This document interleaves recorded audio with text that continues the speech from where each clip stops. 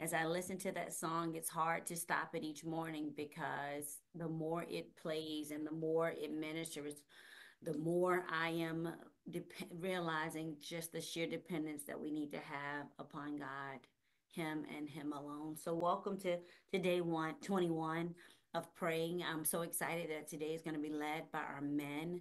And I laughed last week when I looked ahead to see what day 21 is. And day 21 is Live Life Lit. And for those who don't know, this is something that the Lord gave me almost eight years ago when I began the Desire of the Fire conferences. It was something that He placed in my heart. And it came at a time when I was really, really in a, not in a good space and place. I loved Lord, but I was so unhappy and so discontent in in my assignment. I thought that I was called to so much more and I wasn't seeing it. I wasn't experiencing it and I was really struggling and the Lord just began to share with me that there was still more to do and that I just needed to fan the flame. And so he sent me on this journey to learn what live life lit means and it has forever changed my life. And so I'm excited today to see and to hear what the Lord says to the men because this is something to all of us. It's a call and it's a charge to all of us. And so I'm excited today to yield the, the floor to them. But I just want you to take a deep breath. I want you to breathe in and exhale because I'm not sure what type of space or place you're in right now. I'm not sure if you're discontent. I'm not sure if you're not satisfied. I'm not sure if you're seeking things in your life or believing for things that haven't shown up yet. I'm not sure where you are, but no matter where you are, whether today we find you completely dark or today we find you dim or we find you bright, wherever you are, God has something to say to you. And no matter how light you are, or bright you are, how dark you are, or how dim you are, there is another level there's another level. And so before we yield the floor over to the men today, I just want to plant Leviticus 6 13 in your heart. Leviticus 6 13. And the Amplified Bible is the one that stood out to me because it says, The fire shall be burning continually on the altar, it shall not be allowed to go out. I'm going to read that again Leviticus 6 13. The fire shall be burning continually on the altar it shall not be allowed to go out. And I wanted to plant that in our hearing this morning because living life lit isn't a suggestion, it's a requirement for those of us who are in Christ Jesus, for those who have resurrection power dwelling on the inside of us. We are called to live lives lit. And if you were a part of walking through the word on yesterday, all I could do was smile to see how God is literally weaving all of this together as we align with Him. Because yesterday we talked about being light, we talked about being salt.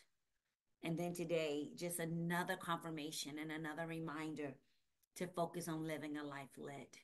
So, Lord, we thank you for just your word. We thank you for your confirmation. We thank you for how you continuously show yourself strong and mighty, how you remind us over and over that you are in the details. And God, we don't have to figure stuff out. All we have to do is fix our eyes on you, the author and the finisher of our faith.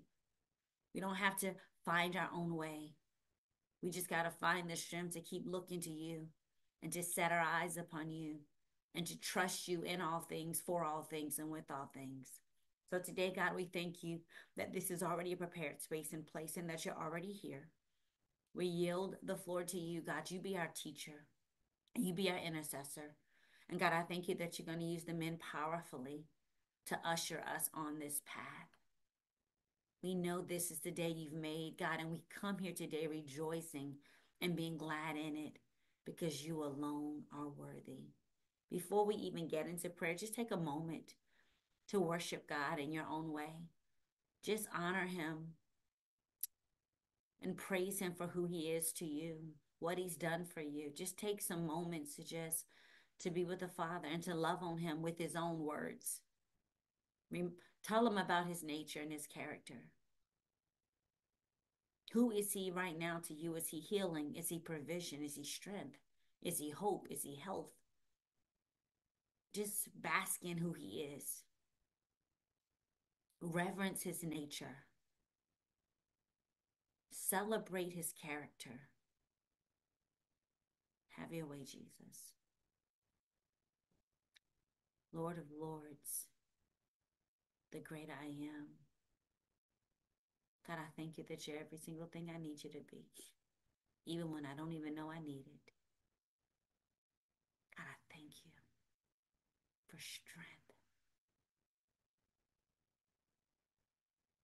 and wisdom and discernment, for your presence, God. I thank you.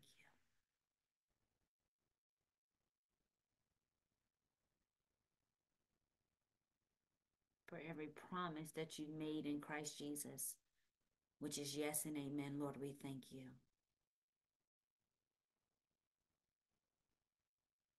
Have your way, Lord.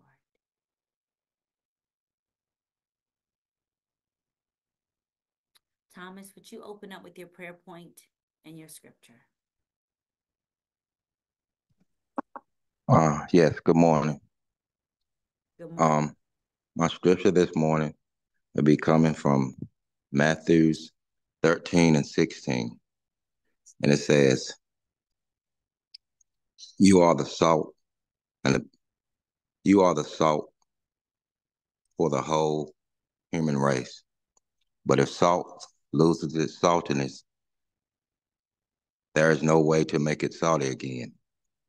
If it has it has become worthless. So it is thrown away, thrown out for people to trample on it. You are the light of the whole world. A city built on a hill cannot hide.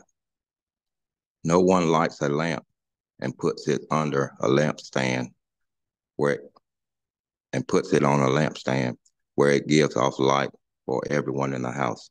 In the same way, your light must shine before people so that they will see the good things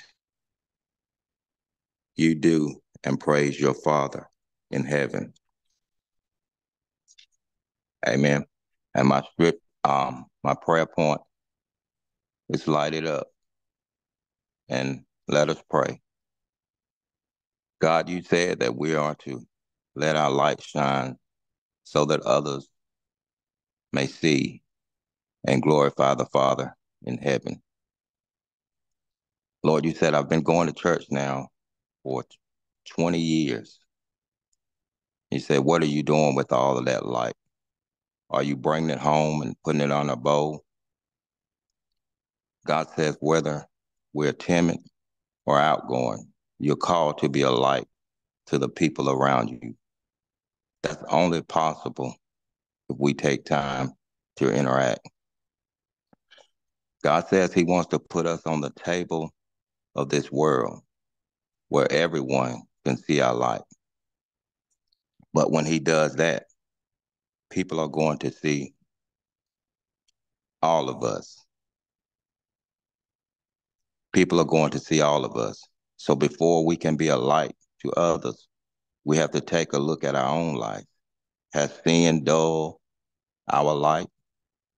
If so, we need to ask God for his forgiveness to help in changing our hearts. We'll never be perfect, but we need to address our sin. There are a lot of hurting people in this world, and we need to let our light shine. A lot of times we don't want to leave the comfort of our homes, but remember, God left heaven to come to earth for us. So no matter where we are, where we are at work, the grocery store, walking in the neighborhood, God is calling for us to let our light shine for others to see and say, hey, I remember that guy. He used to stand out here on the corner and drink beer with us, cuss, and act like crazy, act, act crazy. But he don't do that no more.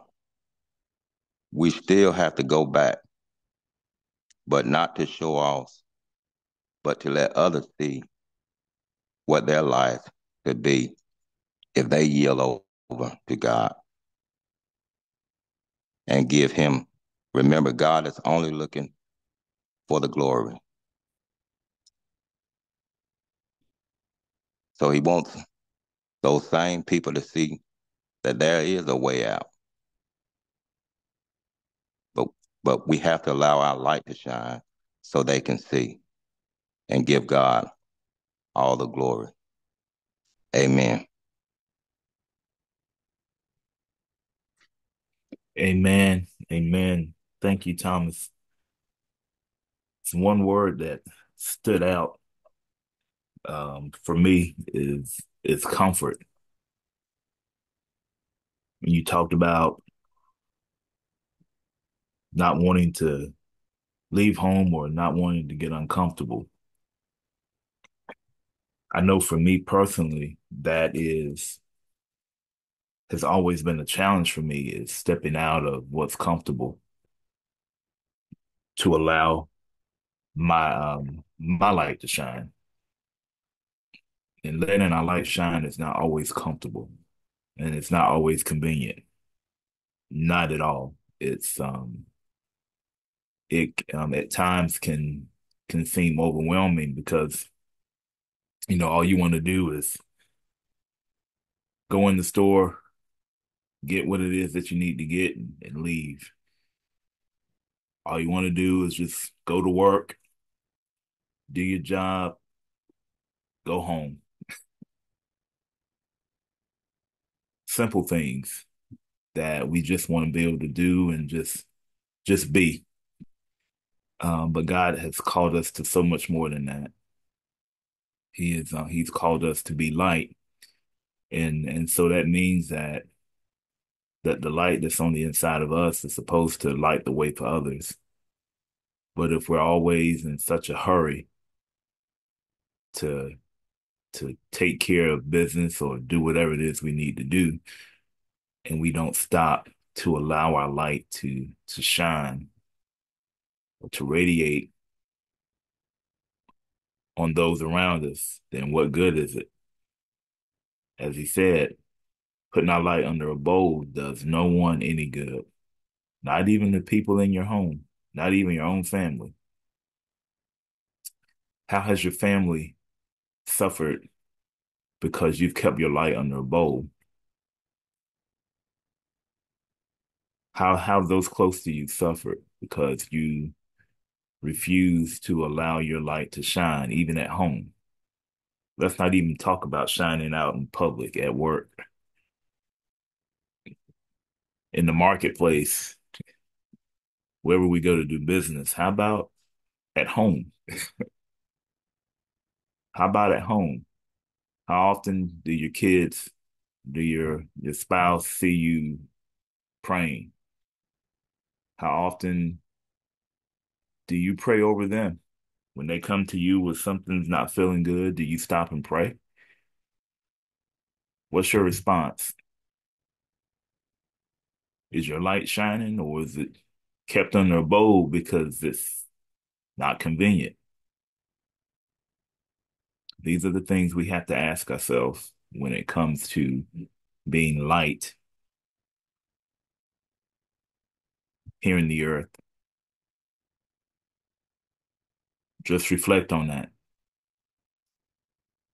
Jot some things down in this time of prayer continue to take some time to write down some things that God is revealing to you, that He's speaking to you in this time, in this moment.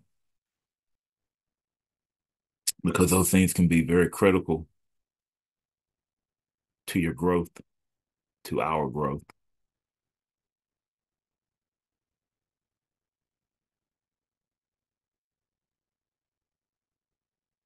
Joshua, if you are ready, sir, could you uh, please share your scripture and your prayer point.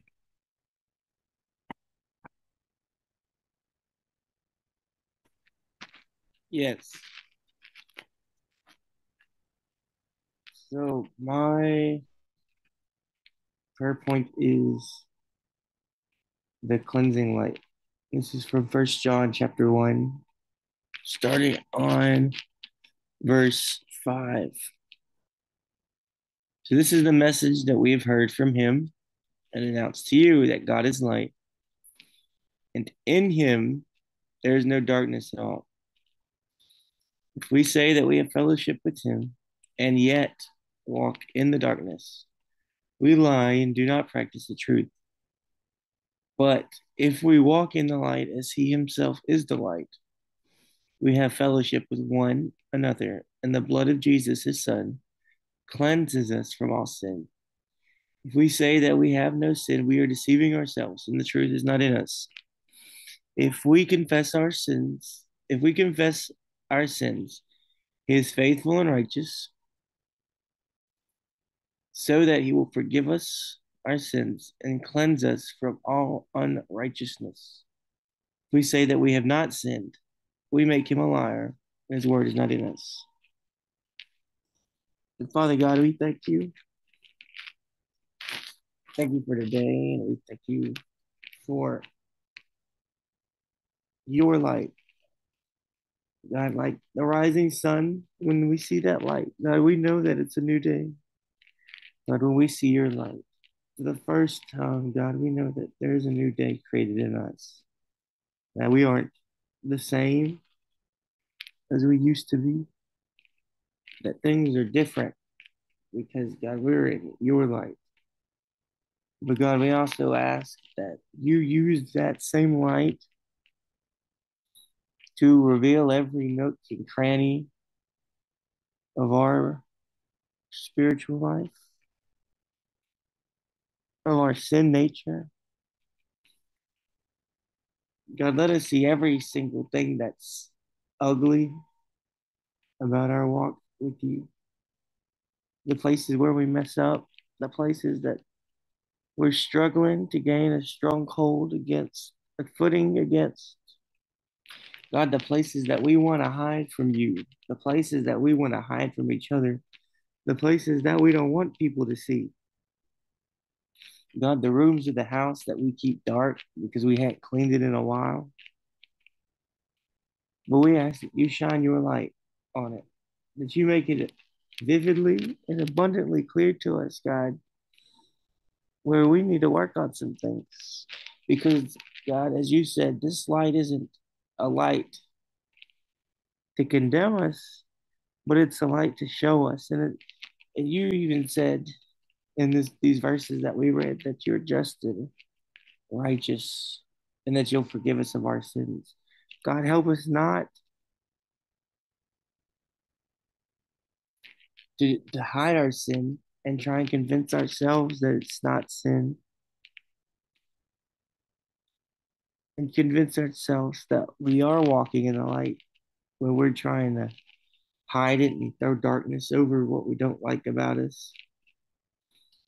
We're going to reveal it so that we can ask for forgiveness for it.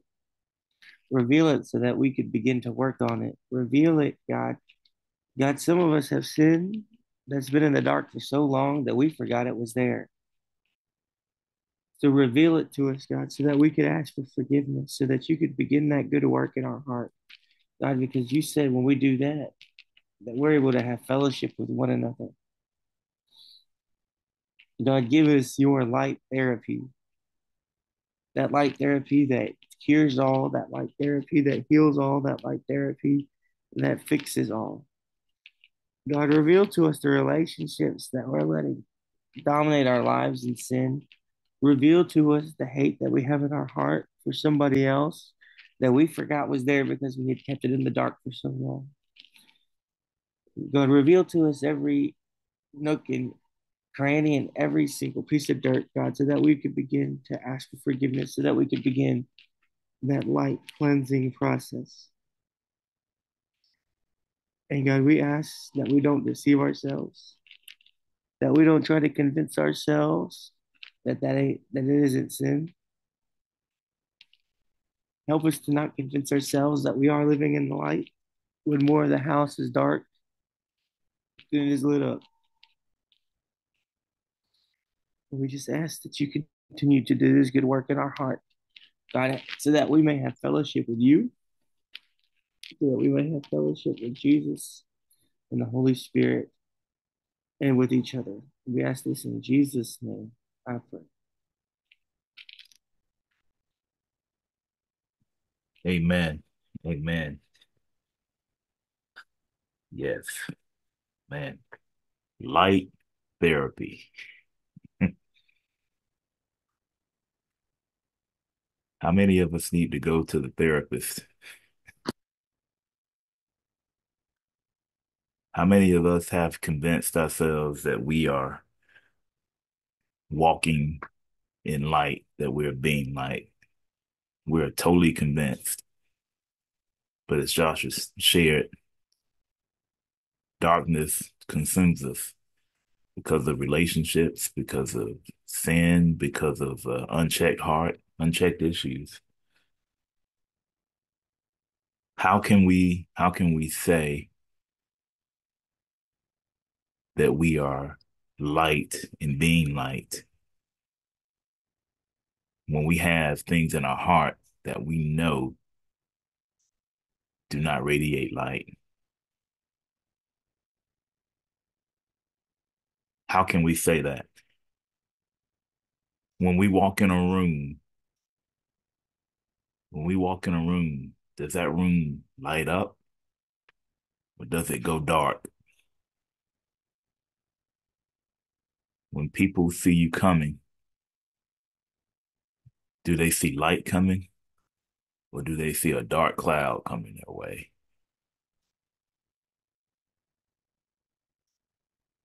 Cleansing. What areas in your heart, what areas in your life are you walking in complete darkness and denial?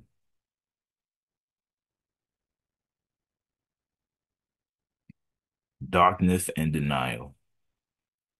What areas? What areas in your life, in your heart, do you refuse to confront?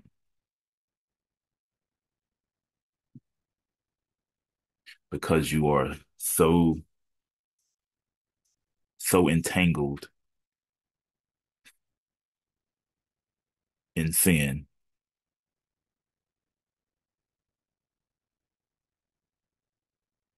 What areas? What areas of your life?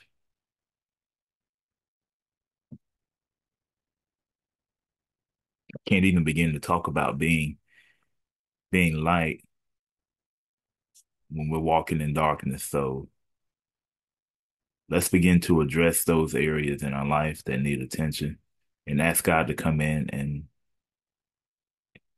and do a work in us. But we have to allow him. We have to allow him in.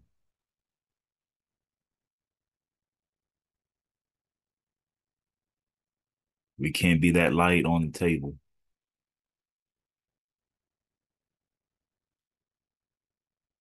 If we're walking in darkness.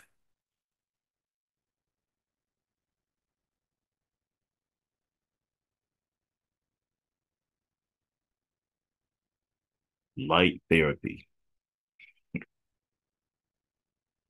Light therapy. I want to share with you um, scripture coming out of Second Corinthians chapter four.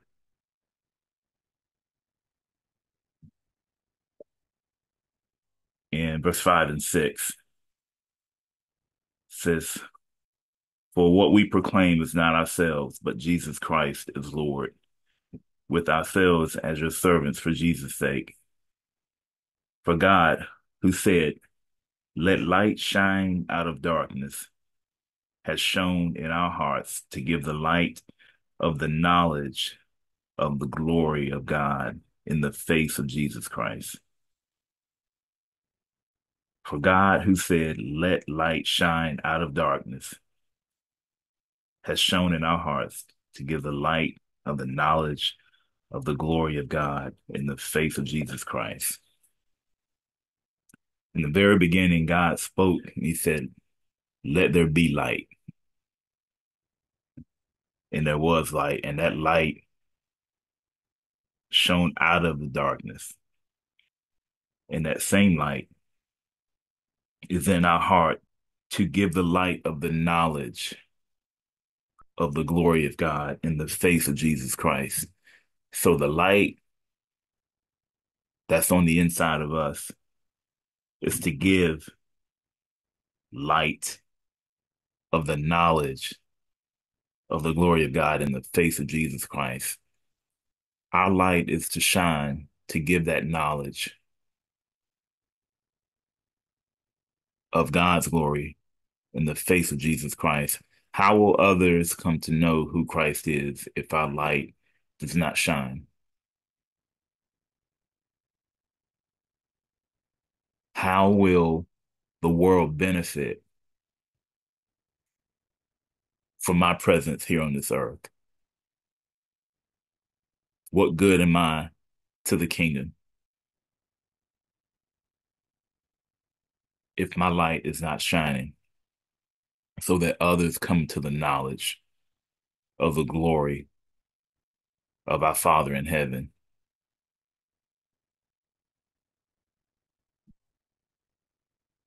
Our purpose is so much greater than just being nice and being kind and getting a good job, making a good living, raising a family. Those things are great. Those things are great. And they're honorable. But we have a light that shines in our heart to give light to others. We start at home. We take it on our jobs. We take it to the barbershop. We take it to the beauty salon. We take it to the grocery store. We take it to the bank. We take it to the park. We take that light everywhere we go so that others come to the knowledge of the glory of our Father in heaven.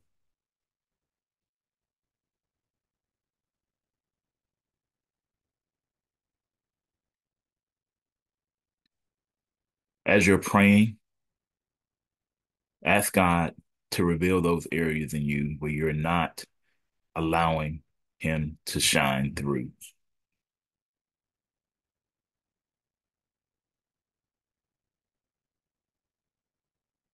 Where are you not allowing your light, the light to shine in your life? And how can you be better? This is no, this is no condemnation. There's no condemnation. This is just an opportunity to get it right. An opportunity to simply flip the switch. That's all you got to do. The same way you go into a dark room in your house and flip the switch. That's all you have to do is just flip the switch and just let your light shine. Just allow your light to shine. Take a moment and just reflect over God's goodness and his grace and how you, how we can let our light shine.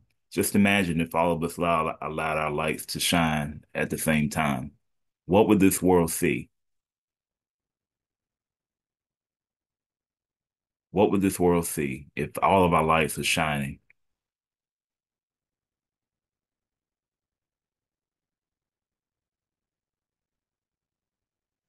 Take a moment and reflect on that.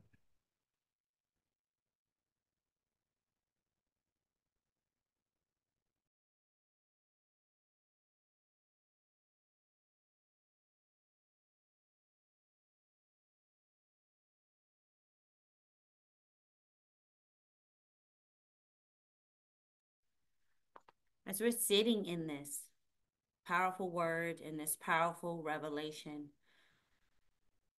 the word I think Josh spoke about denial. I think that was in what Thomas shared. Is there denial? It was in what Eric said. Is there denial? I think before we close out today, we need to ask God to shine the light in the areas that we're in denial. Where have we been deceived?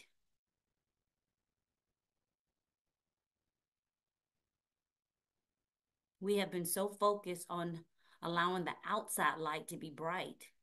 But the reality is, some of your inside lights are dim. Some of the inside lights are dark, but we have perfected showing light to others. It's almost kind of like an artificial Christmas tree. It looks alive, but it's not. Are there areas in your life that you've convinced yourself that you look lit? But you're really not.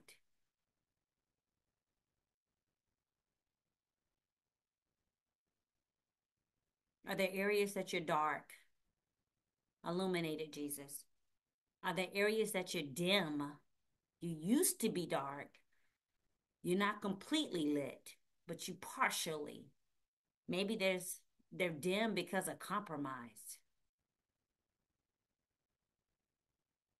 And then I just want us to really come off tonight, or come off the off a mute and talk to God about what does it take for you to be dazzling? How do you go from darkness to dim to dazzling, where you're reflecting the light of His glory? Where the light on the inside of you is shining so bright that it's radiating for the world to see. You can sit it on top of a hill and people can see it. You can put it inside of your house and it lights it up. I want us to come off of mute and ask the Lord, how do you become dazzling in his glory? How do you reflect the light of who he is so that the glory of the Lord is on you? When you walk into a room, you light it up. You walk into a room and the temperature change. You walk into the room and the atmosphere change because the glory of the Lord is upon you. Come off of mute and you need to talk to God. Talk about the areas that you're dark. Talk about the mm-hmm. areas that you do, but then ask Him to make you dazzling. Mm. Thank you, Father. Dazzling. Thank you, Father. That nobody can deny. Father, thank you for all the me those situation areas can't where deny. I it. forget Dazzling. it's And you to money in your Lord, I account thank you for not the be things counted. that you me thinking about how do I come do No from matter what know, darkness to light. about God, you. Thank How you. do I you seem and to be I reflect thank wasting you, the Lord, time, for light but I know it's more than But you that. truly show us glory. what What do I do? Showing me, Lord glory. to be that Showing way. off To his me about what I need to do. Responding in a way like Go he out Show me there. responds. how to be Loving like that I'm loves. Not Living like do as he much lives. as I And should. Talking then like you he go to talks. sleep. I Talking seem to like be he tired the time, Going and that's around let doing your will that that we have a I want to talk to demonstration Laying people Help hands on me. the of sick the and the to lead suffering. me. demonstration Speaking to demons He and they remember to just How do we be the become bold first enough Lord. to I'm do what asking um, Jesus that we did? take given How do we follow in opportunities his from opportunity it. to footsteps? speak to me and Because let me Show know me where Should wonders, our light our wonders know are light what I is coming need to upon dim. us shine because we turn believe. hear May can our be light to Lord, be let show me where always that Help us. miracle force us I'm lacking wonders to what be I will need Show to me be manifest where in I'm our doing. life. lacking a, the a light That And opportunity people to to expect know to see the um physical it provide. signs, might that when I walk big into a God that you're room, dwells on the able to do that. They know to the just walk Show me, the light power back. tip is me exuding and from let us. me so that I can have know I It's want Help it to me. evident. and get a Move God, we me feel thank you for for your. Thank you, Lord. Thank you. We thank you, praise you. what it Jesus. Come to is that use Lord, we Lord, that thank you, let Jesus. me um and needs to showing us Thank happen. you, that it was Jesus. a Just get a voice. Lord, we thank you today that this brightness, this dazzling, it is not of ourselves, but it's the resurrection power of Jesus Christ in us, flowing out of us. This brightness has nothing to do with how much word we know. This brightness has to do with us knowing you. It's a choice to be bright for Jesus. So, God, help us choose to shine in the light of your glory. God, help us to choose to keep the fire on our altar forever burning. And when it starts to go out, for us to be bold enough to get close to someone else and say, I need a little bit of your fire. God, may we realize that we're like hot coals and you keep the coals together and the fire keeps burning, but you pull the coal apart and you pull it separate from everything else and it goes out. God, help us to realize we're designed for community. We should be shining light together. We should be radiating light together. God, help us to be bold enough to realize when we walk in the room, we can't afford to shrink back. You didn't shrink back on the cross. How dare we shrink back and minimize the anointing that's upon us? You didn't minimize anything. You didn't even open your mouth. You took a beating that you didn't deserve. You died a death that was on us. So, how dare we shrink back? How dare we hide? How dare we minimize the anointing that you put upon our lives? God, make us brave, make us bold. Help us to realize that there is no condemnation for those who are in Christ Jesus. Yes, my personality may be this, but I can still have that personality and be powerful. Yes, my past may have been this. I can have that past trauma and drama, and I can still be powerful.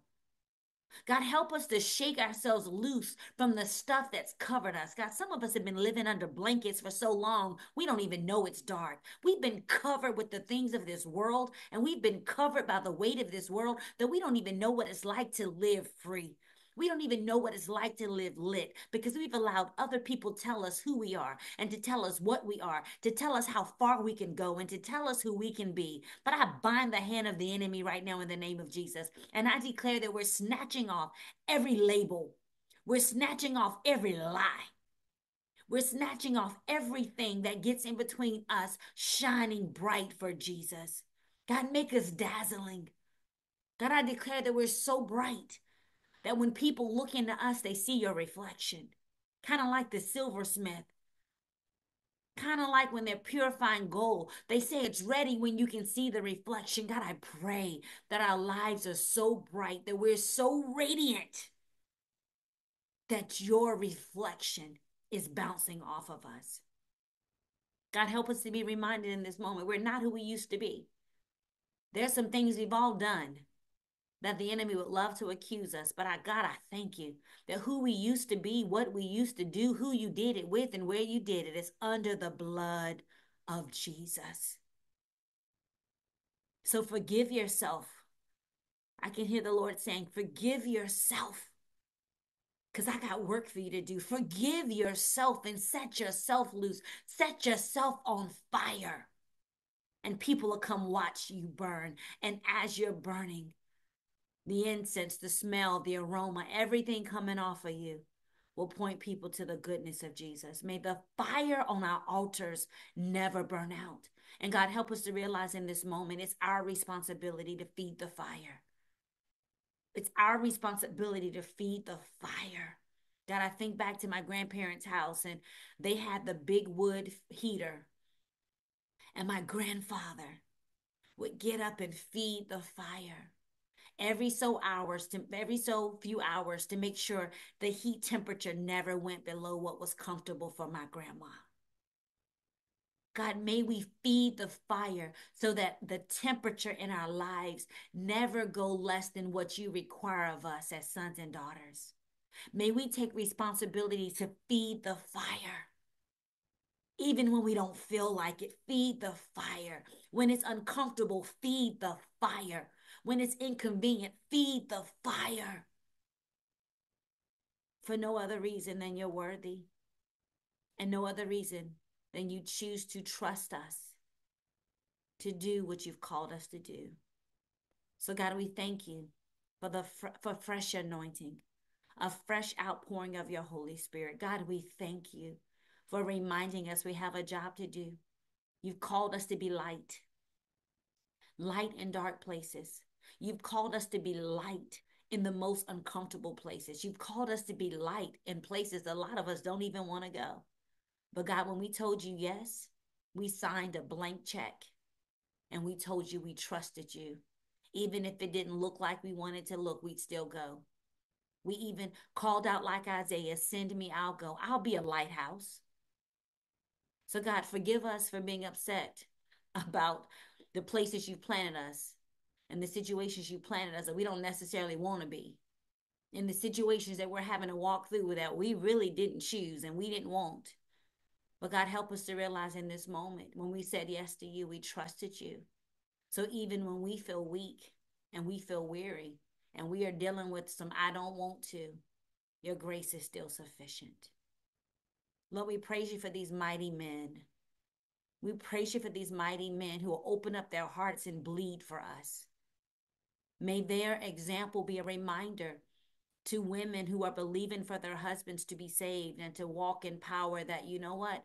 This is a testimony of what God can do. For those women who are believing God for a husband, God, I pray that in this moment that they realize it is their job to get so lost in your word that a man has to be in the word to find them. God, I pray that even now that as these women have heard these men speaking so powerfully and so transparently, over them and in them. That walls from abuse from men and walls from abandonment from men, that the walls are, are going down a little bit.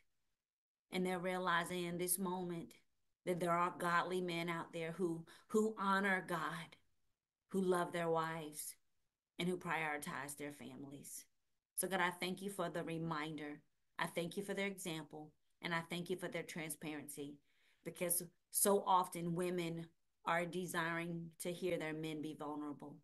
And God, I pray that today, Thomas, Joshua, and Eric's vulnerability is planting seeds of healing and hope in the women that are on this call. And it's stirring faith to the men who are sitting with these women and listening to the prayers go forth. God, I pray that things are changing in the atmosphere, that things are changing in marriages, and that things are changing in people's hearts as we continue to show up faithfully to seek your face. God, we declare that today every church that's lifting the name of Jesus, every church that's proclaiming the gospel, that people will cry out, What must I do to be saved? That people will walk out of bondage and walk out of darkness into your marvelous light, and their lives will never, ever be the same. In Jesus' name. We thank you when we commit this day into your hands, and we declare that your perfect will is being done. In Jesus' name. Amen. Amen. Amen. God bless you all, and we'll see you bright and early tomorrow morning at 5 a.m.